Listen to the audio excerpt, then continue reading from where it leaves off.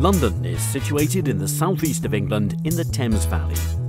Home to over 8 million people, the capital of the UK has been an important financial, educational and cultural centre for hundreds of years.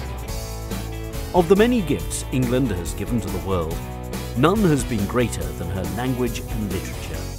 And if ever there's a city that reads like an epic saga, it's London.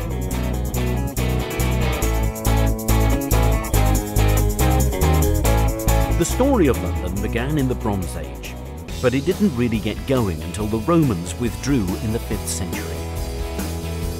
Growing into one of the great medieval trading cities, she truly came of age in the 11th century when William the Conqueror built the Tower of London, which was to become one of England's grimmest prisons.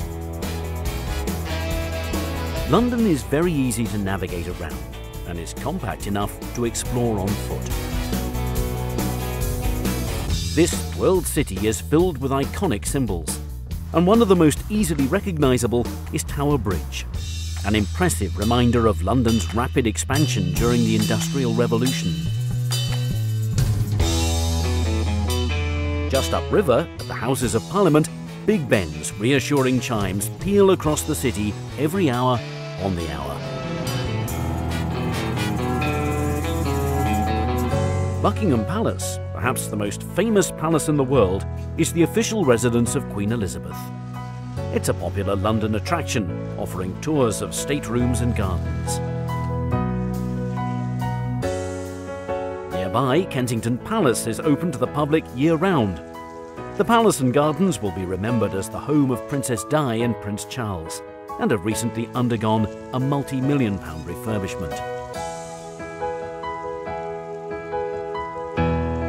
Another legacy of England's monarchy are the royal parks of London. They were once reserved as private hunting grounds for the royal family, but nowadays they're open for everyone to enjoy. There are eight royal parks, and many of them are in central London and close to royal palaces and other historic monuments. Green Park and St James Park are right next to Buckingham Palace, Admiralty Arch and the Mall. Hyde Park is perhaps the most famous, with its man-made lake, the Serpentine, and on the other side, Kensington Gardens is a beautiful open expanse that stretches east towards Kensington Palace. The Albert Memorial is at the southern end of Kensington Gardens, and the striking bronze statue looks towards the Royal Albert Hall just across the road. The hall is yet another reminder of Queen Victoria's great love for her husband, Prince Albert.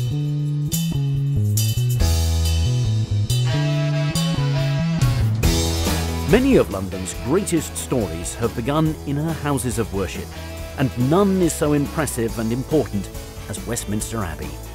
This is where kings and queens have been crowned, married, and even buried. London was rebuilt after the Great Fire in 1666, and St Paul's Cathedral is the most enduring monument to the city's transformation. It's a great testament to British strength and resilience.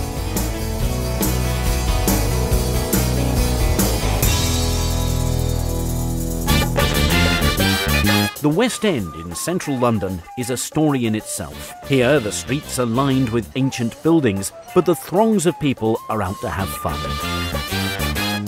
By day, the charming boutiques and cafes hum with shoppers, and by night, the bars along Carnaby Street are packed with patrons enjoying pre-show drinks. This is one of the largest theatre districts in the world.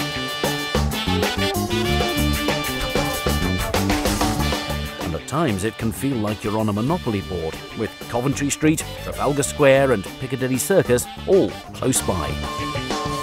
Moving away from the historic centre, London's trendy suburbs offer a different kind of story. The Portobello Road markets in Notting Hill attract thousands of visitors, especially to the antiques market that's held on Saturdays, while the edgier Camden Town features six popular markets that are open every day of the week and operate along her streets, the canal, and in her historic stables.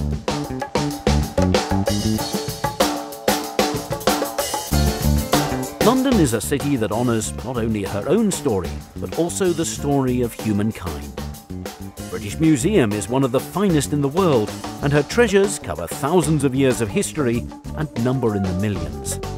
The museum is open every day, and best of all, it's free. From the ancient to the modern, the London Eye offers a complete change of pace and perspective. The massive wheel is over 400 feet high and takes 30 minutes to complete one rotation.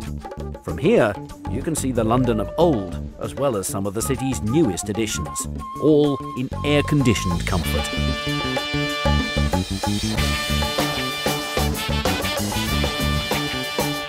London will always be a city that looks towards the past and the future in equal measure. From Rule Britannia to Cool Britannia, the fabric and the skyline of this city is forever turning over a new page. Which is, after all, what every great story should do.